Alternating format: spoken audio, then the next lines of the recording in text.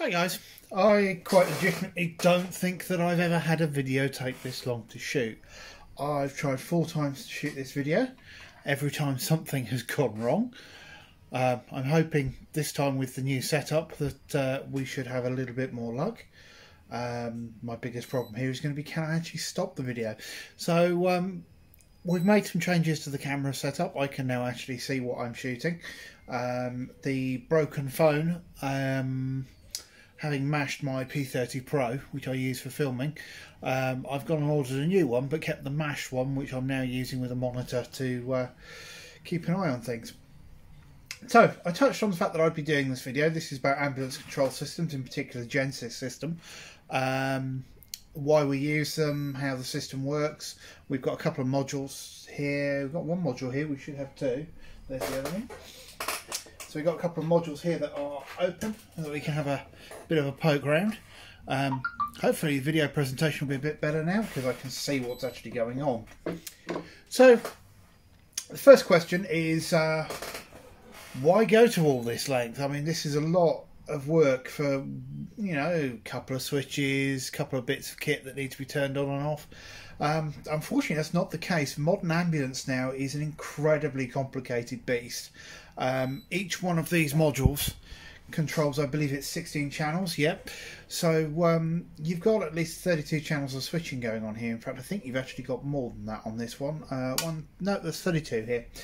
Um, and not all of these switches are straight on and off. Some need to be synchronized with some some things. For example, um, you want to know that the vehicle's gone into reverse um, to turn on the re- the reversing camera. Um, you don't want to be able to turn the air conditioning on without the engine running, and there's stuff in here to control the batteries as well. Um, for example, tr- um, battery transfer. Um, your average ambulance has uh, between two and three batteries. Um, quite often you have a chassis battery, which is the battery that the vehicle came with. You then have an auxiliary battery which runs everything else, and or a comms battery. And sometimes you'll have a third battery which either doubles of the comms battery if the other one's an auxiliary, or it runs things like your tail lift and things like that. I have seen one or two Mercedes vehicles with four batteries on, where there is a fourth battery solely to run the tail lift um, an auxiliary battery, a main battery, and um, a comms battery as well. There's a another variation on that where there's actually even a smaller battery, about uh, 50 ampere hour battery, underneath the driver's seat just to run this lot. Um, so yeah, we're all getting very complicated. We're just looking at power management at that point. Um, and then as I say, you start looking at things whereby if one battery if one battery is becoming low, then we'll switch off some of this stuff. Um, and we can start prioritizing loads. So, um, for example, if I look here, we've got the incubator and we have a defib power. They're probably the last things that you want to fail. So we prioritize the battery access to them. We are monitoring the battery voltage as well most of the systems work on a very similar sort of layout. Um, Genisys is fairly unique in this layout. Our own system is quite similar. We have submodules. Um, then there is a earlier version It's called Phoenix, where this is all in one massive control box, normally just behind the driver's seat. Um, there is the Woodway and Whelen systems, which are much much simpler and only really intended to work the emergency lighting systems and there's other variations on these as well. Uh, this system is still in use. Um, Ring Automotive now support it. Carnation Designs, I believe, were purchased by Ring. Um, they've made some changes. You have a lovely touchscreen unit now rather than that. Again, our own system uses touchscreens. Um, but they're all the same. Uh, bare minimum on a Genisys system, you're going to have an ECU, which is this box here. This does all the inputs on the system. So, for example, we've got, you won't be able to read them here, but I can point them out. Side lights, reverse gear, brake lights, ignition, engine running, dip beam, CCTV fault, um, speed trigger, rear suspension, handbrake, cab doors, side load doors, rear doors, panic strip, battery charger, and ramp deployment. So that's all your inputs. Um, have I got the case for the other one? No, it's on my desk. Um, this one here that we have that's in bits is quite similar. Let me just pull this out. Um, but it has different programming. Um, with this system, all your programming is actually stored in the ECU.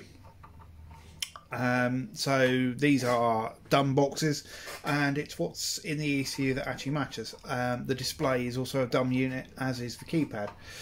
Um, so everything is held in here. Uh, let's a quick close-up look at that, if I can get that without the light swamping it out. You've not got much on here. I assume this is going to focus for me. Yes? No?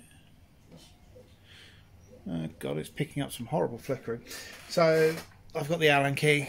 Um, they're fairly simple. You have a PIC 18 series device, a ROM, which I believe carries all the sound and voice this system talks, and I'll make this one talk in a minute. And that's all there really is to it. There's a bit of glue logic, a bit of power supply logic, but that's the ECU. That's all the work where all the work's done. Um, can I make this talk? I don't think it wants to talk at the moment. Uh, let me try. Attendant requires assistance. Warning. CCTV in operation. You are being recorded.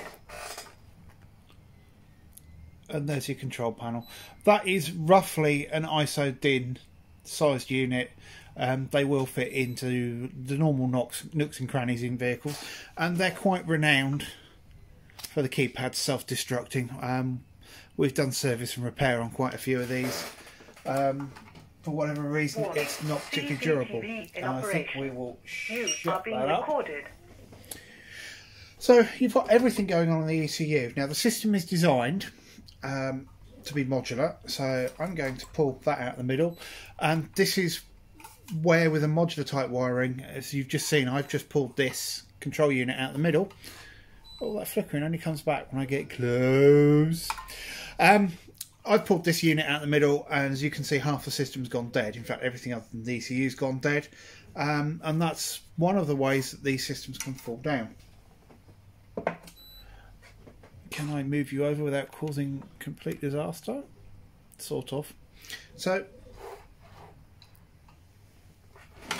just move this around. What we have here, you can't see it too clearly. Sorry, laminate floor, so uh, this chair tends to uh, wander around.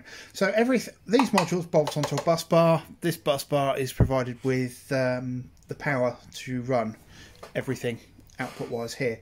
Um, these two are split. This was set up originally as two modules side by side, so there would have been another set of units there back to back. They've got good cooling. Um, they've sort of most things on them. I believe the ECU provides the power for the bus, so these don't necessarily have to be screwed down to this to be powered up. Um, therefore, the ECU is also going to power your displays and everything else. Um, I was going to plug that back in, but I won't. So, I mean, demonstration here, we have an ECU, uh, not an ECU, we have an IO, put, IO unit or output unit that's not screwed down to the bus and you'll see we're woken up and we're happy. Now, a lot of the vehicles you see these in, these are going to be all bolted to the back of the, of the bulkhead, normally behind the passenger or driver's seat. Um, there's no reason to do that other than the fact that with most of these vehicles now that's where the wiring harnesses are generally under the driver's seat or under the passenger seat you'll have all the heavy duty battery switching um, your split charging and things like that. Um, i suppose from that point of view it makes sense for it all to be there. There is no reason why you can't have say one of these programmed to do say all the blue lights or all the equipment at the very back of the unit and actually have this module back there. Sorry you're bouncing a bit. Um, it just doesn't seem to be the way they do it. And indeed, we have our own system, and that is designed specifically to be used as a modular type assembly. Um, and we have boards designed to fit into light bars and things like that.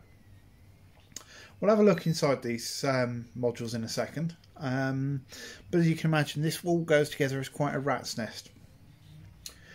Uh, those of you that know these systems or know of these systems or drive vehicles fitted to them, you'll know that there are some foibles with these. Um, those of you who have sat there for most of your shift being told that your side door's open, for example, or the battery's low. They do appear to be quite sensitive to vehicle um, electrical system problems.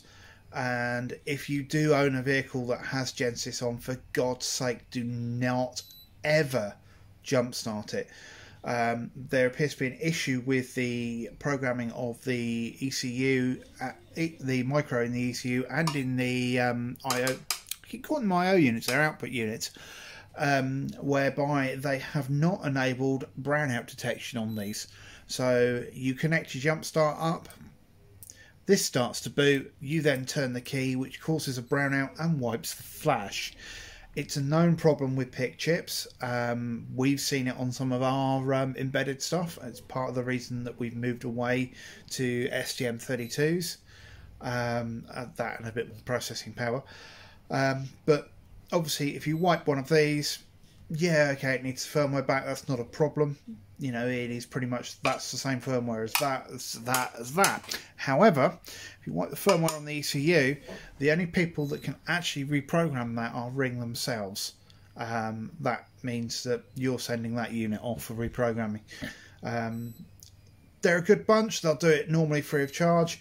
Um, they'll get it turned around fairly quickly, but if you've got a vehicle that urgently needs to go out, that's really not going to help you. Um, so yeah, um, there are other things, excuse me, reaching in front of you that you'll find attached to these. So we have here, if I can get it, so we get less flicker and uh, a good look at the front. We have an audio switch module. So this was used in conjunction with this ECU and a wiring harness and this allowed the audio to be switched around the vehicle depending on where the where people were working and what the message was um, I believe this also works as an intercom. Then we've also got, because we're taking in, where's ECU again? We're taking the speed, um, door switches, um, speed, excuse me, speed triggers and things like that, ignition engine running. These are all available in the wiring harness or they're available over CAN. So, ah, hiccups now. This um, little device plugs into the vehicle CAN bus, takes power and provides these signals out for that. We do something similar but we do it in the ECU itself. Our ECUs do speak CAN. So on the network cables between these, um, they are just straight Cat5. Um, for the longest time, there did appear to be some very, very strange things going on with these cables. Having now spoken to Ring and actually done some work with this test rig on our bench, these are just straight Cat5 cables. So there's nothing mysterious about these. We believe they did have swaps in, and indeed sometimes where we had tried to use these, we'd run into problems. Not quite sure why, but that's what Ring tell us is they're nothing special. These carry power, they carry data, which we believe is RS485. Um, it could be CAN. 485 seems more likely, as some of their marketing data does say 485. Um, and now we're into slightly uncharted territory. Um, what we believe happens is each device is sent a packet that contains the status of its outputs, and then each device then responds with the status of its fuse, if its fuses, um, or what the current draw on everything are, on the current draw on that channel is, so that channel can be shut down. I've not actually successfully managed to trip any channels. Um, that might be because our power supply is uh, not really man enough to do it. But I have seen it actually fitted to vehicles where it has tripped, so that's fine. We do know that works. Um, each device also has a unique ID. They are set on the ends. Let me get the one that's naked. So you have an ID. You guys focus anytime soon. Focus. There we go.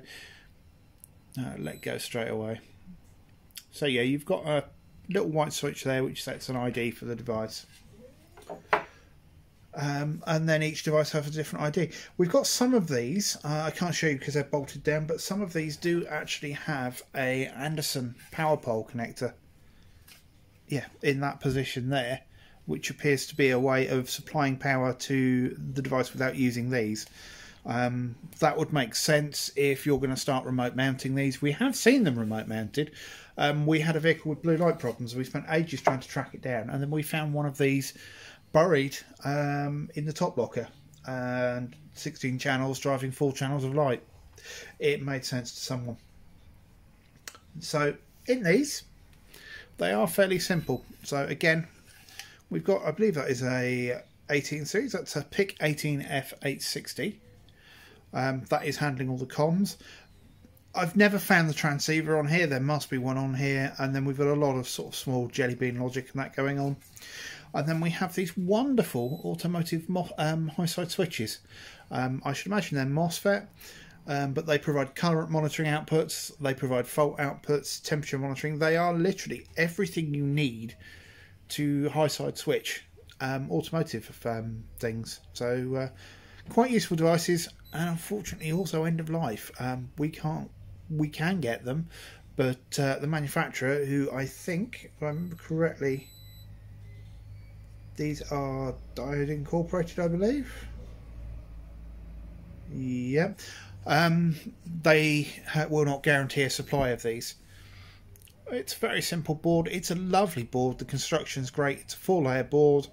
Um, I suspect there is a ground plane and a power plane in there.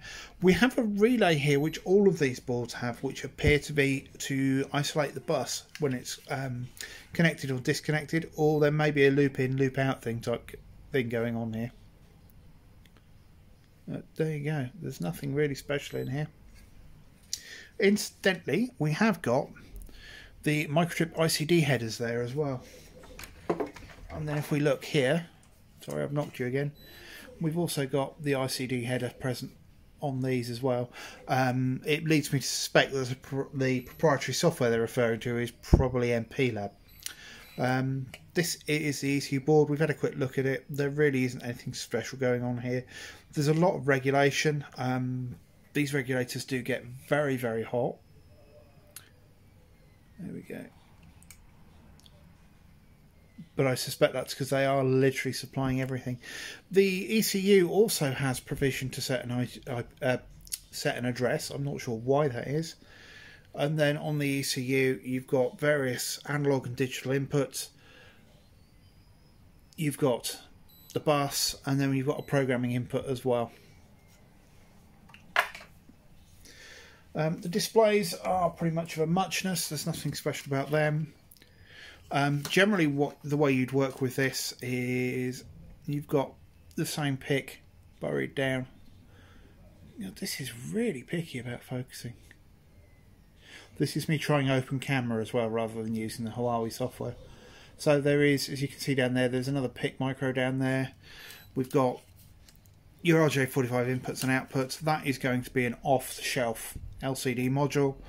And then another custom board for that. Generally with this kind of thing, if I pull this out, I don't know if you can see the back of that one. I'm pretty sure it has got a cover on. Yes, it does.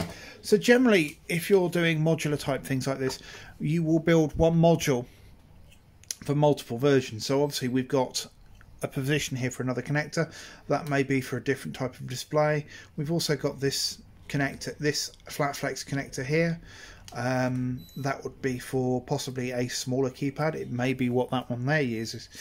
Um, but there's no point in designing multiple versions of one board if oh sorry designing multiple boards when multiple versions of the same board will do the job it's a waste of time we do it ourselves let me just plug that back in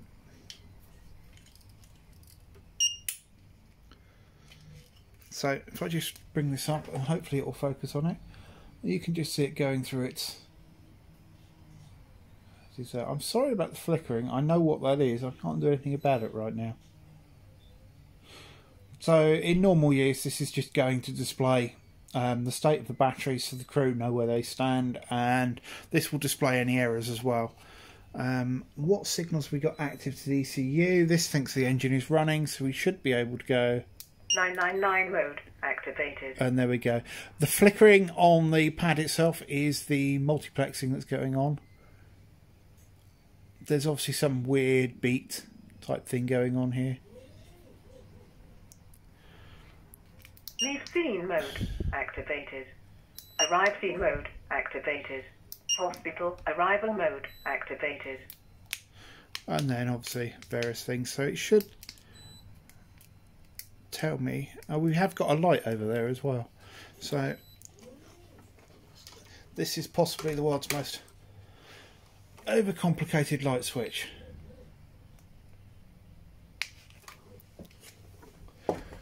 But that's essentially all there is to it. Um, sorry, I keep knocking you.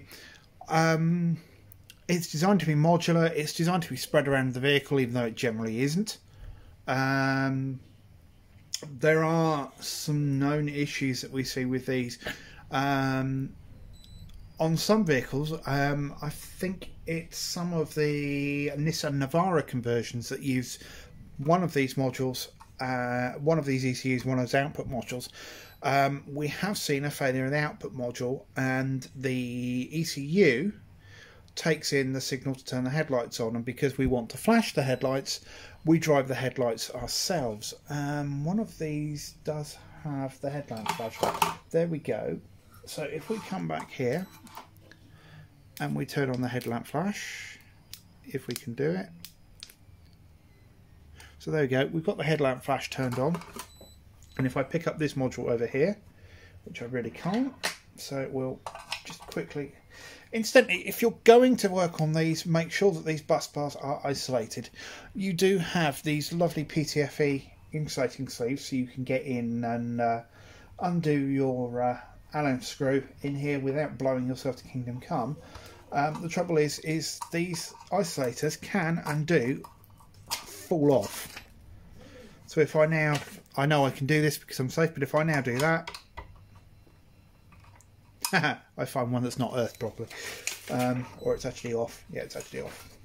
Uh, the labels quite frequently fall off of these as well. But there you go. If you look on this one, can you see it? On the bottom row here, you've got your drive out to the headlamp flash. So what is done on the Navaras is there is a headlamp input taken into the ECU and then depending on the program that will either flash the headlamps or turn the headlamps on um, it gets around one of the common problems um, whereby if you want to flash the headlights you need to flash one at a time which means you need to put a diode bridge in so you're not flashing both headlights at the same time. That causes you current drop uh, sorry voltage drop because of the current being drawn over the diode bridge. So if you do it this way you're always driving them direct. However if this system dies you can't put the headlights on uh, a few people have been caught out with that one. This is a Genisys system. They all have their foibles. Um, we tried to design them out, but we're aware of scenarios in our system whereby if you over rely on it, you're going to get into trouble. I mean, personally, for us, we wouldn't do this. We would still wire the headlights the way that everyone always does them, either with a relay through one of the dedicated Whelen headlamp flashes, which use relays, um, or with the diode bridge. Um, ideally, none of this should be able to cause problems for the vehicle chassis, and it certainly shouldn't be able to cause pro- problems for emergency warning devices. Um, everybody has a different view on it. I mean, a lot of people say, well, if this isn't working, half of your other stuff isn't working. You know, you've not got your defib charging, you've not got your CCTV. Um, you've got no EWS, your split charge isn't going to work, so we probably shouldn't even be driving the vehicle at this point.